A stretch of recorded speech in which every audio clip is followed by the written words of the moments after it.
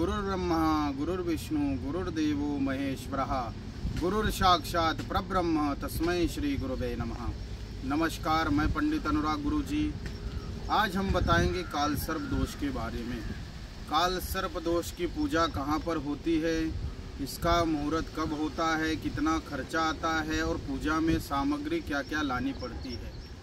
सबसे प्रथम में नीचे नंबर दिया गया है पंडित अनुराग गुरु जी का। वहाँ से जा कर के संपर्क कर सकते हैं, मुहूर्त मंगवा सकते हैं।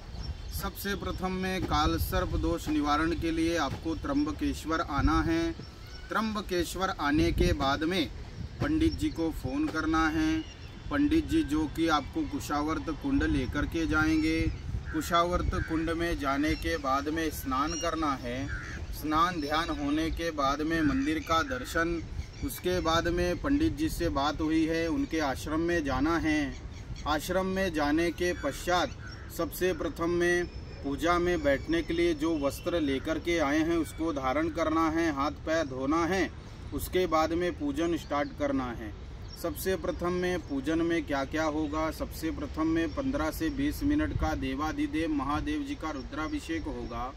उसके बाद में गणेश जी का पूजन कलश पूजन, पुण्यावाचन पूजन सोलस माँ दुर्गा पूजन और नांदी श्राद्ध पूजन किया जाएगा, जिसे हम पितृ पूजा कहते हैं। उसके बाद में अष्टदल का पूजन होगा, नवग्रह जी का पूजन और देवादिदेव महादेव जी का पूजन होगा। और उसके बाद में आपके पूजा में नौ चांदी के नाग, दो राहु केतु की प्रतिमा रहेगी, एक चांदी का गाय रहेगा।